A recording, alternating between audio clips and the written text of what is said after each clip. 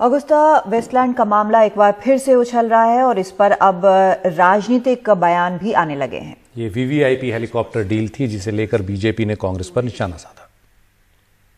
इसमें आपको जानकारी है कि अपने कम्युनिकेशन के अंदर क्रिश्चियन मिशेल लिखते हैं 28 अगस्त 2009 में we have pressurise the prime minister through the party elite हमने प्रधानमंत्री को के ऊपर दबाव बनाया है पार्टी के वरिष्ठ लोगों द्वारा। वो लिखते हैं कि उनकी एक मुलाकात हुई एक इटालियन लेडी के बेटे से, इटालियन लेडी सन।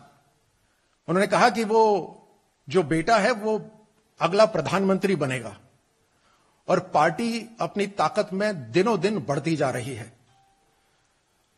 और उन्होंने कहा कि उन बेटे से मुलाकात करके उनको कहा गया कि अपनी माँ से उनको वो समझाएँ इस बात को कि ये डील थ्रू होनी चाहिए। और उन्हें यकीन है कि ये डील थ्रू होगी। आगे ये भी लिखते हैं कि प्रधानमंत्री के दफ्तर के ऊपर दबाव बनाया जा रहा है इन एलिट, जो पार्टी के वरिष्ठ नेता हैं उनके द्वारा। और केवल प्रधानमंत्री नहीं, फाइनेंस मिनिस्टर और डिफेंस मिनिस्टर के ऊपर भी दबाव बनाया जा रहा है। जो धारा है पेमेंट का वो है मिशेल, क्रिश्चियन मिशेल।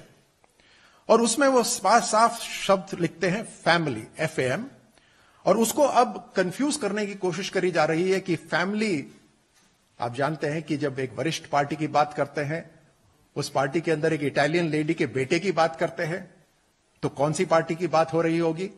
और उसमें वो फैमिली जब वर्ड आता है तो वो एयर चीफ मास्टर त्यागी की एयर चीफ मार्शल त्यागी की फैमिली तो नहीं हो सकती। तो ये सारा का सारा घटनाक्रम और खासतौर से जहाँ शब्द एपी लिखा है, उन्होंने अपने जो बयान उन्होंने दिया है, उसमें भी बोला है कि ये अहमद पटेल है। फैमिली एफ़ जो लिखा है, वो फैमिली है।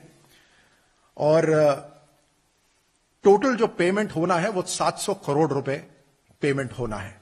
ये बहुत दुख की बात है कि एक तरफ़ हमारे जवान अपना बलिदान देते हैं देश की रक्षा करने के लिए, और दूसरी तरफ़ जिन लोगों को सत्ता की ज़िम्मेदारी दी जाती है वो सेना को इक्विप करने की जगह घोटालों के जो डील करते हैं, वो घोटालों के सोच विचार करके करते हैं।